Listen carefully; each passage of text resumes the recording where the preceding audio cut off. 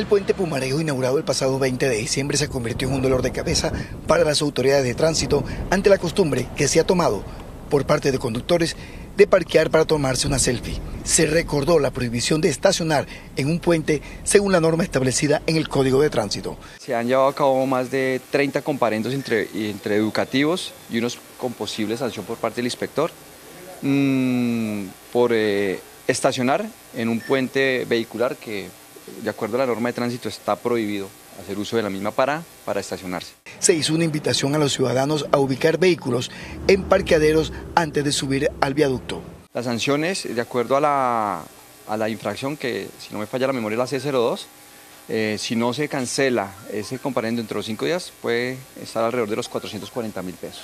La Policía de Tránsito inició los controles para que no se continúe en la práctica de parquear en la obra recién inaugurada y evitar accidentes de tránsito.